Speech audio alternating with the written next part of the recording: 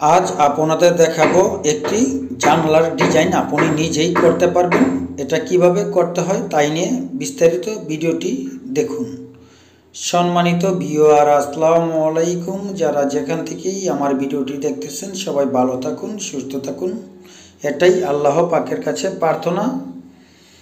তবে আপনাদের আজ যেই ব্যাপারটি দেখাতে যাচ্ছি, মূলত এই বিল্ডিংটি কিন্তু ডুপ্লাক্স। রাউন্ড সিঁড়ি রয়েছে এই বিল্ডিংটি অনেক সুন্দর। তো আজ আপনাদের ভিতরে দেখাবো না। তো আপনারা যদি ভিতরে দেখতে চান রাউন্ড সিঁড়ি সহকারে, তাহলে অবশ্যই ভিডিওটিতে একটি লাইক দিয়ে সাবস্ক্রাইব করে, বেল বাটন অন করে সাথেই থাকুন। তো দেখতেছেন যে জিনালাটি, এই জিনালাগুলো আপনি কিন্তু অতি সহজেই করতে পারেন। এই জিনালাগুলো করতে আপনার মোটামুটি ডিজাইন মিস্ত্রির প্রয়োজন হয় না। আপনি চাইলে যদি কাজটি আপনার মোটামুটি জানা থাকে, তাহলে সেটি করতে পারেন, অথবা ডিজাইন মিস্ত্রি দিয়ে করে নিতে হবে।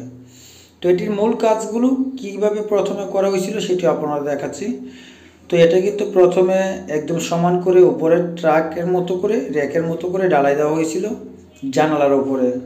তারপর সেখানে ইটা, পুরাতন সিমেন্ট বালু দিয়ে ডাল করেই নেওয়া হয়েছে। ডালের পর চারাগুলো কাটা হয়েছে। তারপর যে নিচে যে রিংগুলো দেখতেছেন, যে জানালার নিচে যে রিং রশির মতো দেখতেছেন, এটার জন্য কিন্তু আমি আগে থেকে কোনো ডালাই দেইনি। তো আপনারা অবশ্যই সেটি ডালাই করে নিতে পারেন।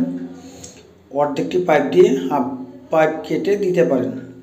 তো এটা বেশি উঁচু করা হয় নাই সেই জন্য এখানে পাইপ দেওয়া হয়নি। এটা কিন্তু সম্পূর্ণ বালু সিমেন্ট দিয়েই করা হয়েছে। তো বালু সিমেন্ট দিয়ে করার কারণ আরেকটি রয়েছে, সেটি হচ্ছে কি আপনাকে কিন্তু এখানে ভালোভাবে প্লাস্টার খুদে নিচে থেকেই ভালোভাবে গ্যাটিন দিয়ে দিতে হবে। অন্যথায় এটি যে কোনো মুহূর্তে ছুটে যেতে পারে। ছুটে যেতে পারে সেই জন্য আপনাকে ভালোভাবে করতে হবে। আর যে যে বারান্দাটা দেখতেছেন, এটা কিন্তু বিল্ডিংয়ের সমান করে ভিতরে বারান্দা রাখা হয়েছে। ওপরে যে ডিজাইনটি দেখতেছেন ড্রপ হলে সেটিও কিন্তু আপনি অতি সহজেই এটাকে প্লাস্টার করার পর সুতা দিয়ে দাগ দিয়ে এটাকে সুন্দরভাবে একটি সিট দিয়ে কেটে নিতে পারেন। নিচের যে বিটগুলো রয়েছে, বিটগুলো কিন্তু নিচের বিট কিন্তু একটি করে গোলাল রয়েছে। তো আসলে কিন্তু গোল করে সেটি ডালাই দেওয়া হয়নি। সেটি কিন্তু আগে প্রথমে সমান ছিল। তারপর এটাকে প্লাস্টারে গোলায় আকার করা হয়েছে। তো আসলে এই কাজগুলো আপনারা অতি সহজেই করতে পারেন। যদি একটু মাথা খেলিয়ে কাজ করতে পারেন। কারণ বেশি একটি সমস্যা নয়, এই যে দেখতেছেন, আমি সাইড দিয়ে দেখানোর চেষ্টা করতেছি। এটা কিন্তু বালু ভেঙে, বালু যখন প্লাস্টার করবেন, তখন সিমেন্ট একটু বেশি দিয়ে কেটে নেবেন। তো এই যে যেটি দেখাইতেছি, দেখেন, প্রথমে কিন্তু এরকম ছিল জিনালটা। যে ওপরে শুধু একটি ইয়ে ছিল, নিচে একটি স্যালাপ ছিল। নিচে বিটের স্যালাপ, ওপরে কিন্তু শুধু সমান। তারপর এই যে এটা, দেখুন, এটা কিন্তু করা হয়েছে, বিল্ডিং একই বিল্ডিং ওই অর্ধেকটা ডুপ্লাক্স, আর বাকিটা এটা আগে হয়েছিল। তো আসলে রং দেওয়ার পর যেটা হয়েছে এরকম। তো আশা করি পরবর্তী যে ভিডিওগুলো রয়েছে সেটি আরও সুন্দর। তো আপনারা যদি এই বিল্ডিংয়ের খরচ অথবা জিনালার যে কোনো ডিজাইন সম্পর্কে জানতে চান, সেটি আপনারা বাংলায় কমেন্ট করে যাবেন। আমি অবশ্যই আপনাদের উত্তর দিয়ে যাব। আর আপনারা কেউ যদি কাজ করাতে চান, সেটি অবশ্যই কমেন্টের মাধ্যমে জানিয়ে দিবেন।